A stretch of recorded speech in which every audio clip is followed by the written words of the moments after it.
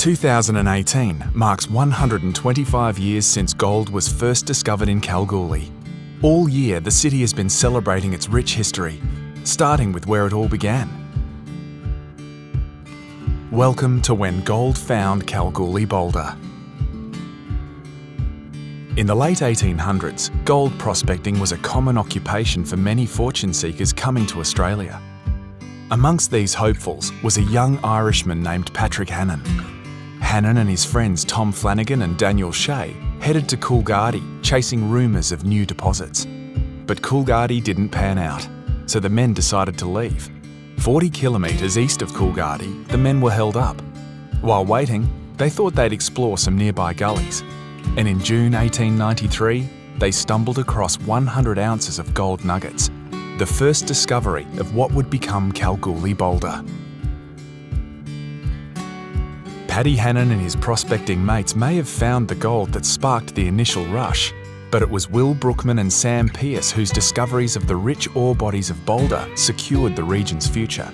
Brookman and Pearce had heard the news of Hannan's find and decided to try their luck at the new field.